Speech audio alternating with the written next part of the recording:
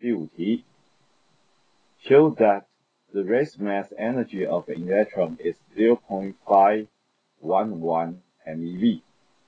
要我们证明电子的静止质能是0.5 MeV 啊，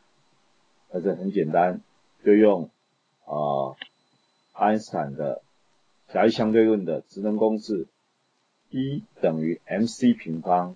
，m 是9.11乘以10的负31次方公斤，乘上光速的平方，就是啊电子的职能，再把焦耳换成 electron volt，就是我们的答案，啊就这样算，啊这个是电子的质量，光速的平方，然后再用1.6。乘以十的负十九次方下去换算它的单位，就得到我们要的了。